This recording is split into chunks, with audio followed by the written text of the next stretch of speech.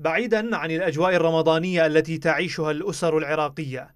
يقبع الآلاف من النزلاء في ظروف بالغة السوء في سجون تابعة إلى وزارة العدل والتي تديرها عن طريق مديرية الإصلاح.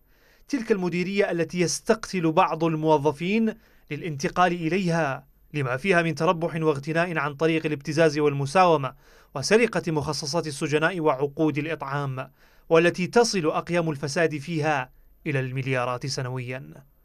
آخر مصائب سجون وزارة العدل هي تلك الرسائل التي سربها نزلاء فيها لتكشف عن تفاصيل المأساة اليومية التي يعيشها السجناء ومنها تعمد إدارات السجون والوزارات ذات الصلة بها عدم الإفراج عن المعتقلين الذين ثبتت براءتهم وذلك في سياق ممنهج لتصفيتهم أو ابتزاز ذويهم ليدفعوا أموالا طائلة مقابل تحصيل حقوق أبنائهم.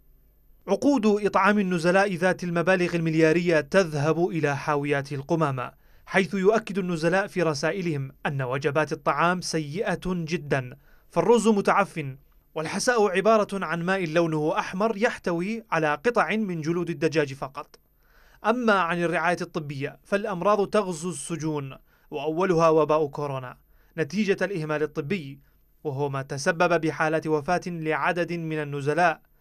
بينما يؤكد النزلاء في رسائلهم المسربة أنهم لا يخرجون إلى التشميس سوى لمرة واحدة في الشهر ولمدة ربع ساعة فقط. بينما وزير العدل يغط في دوم عميق لا يوقظه حتى مدفع الإفطار.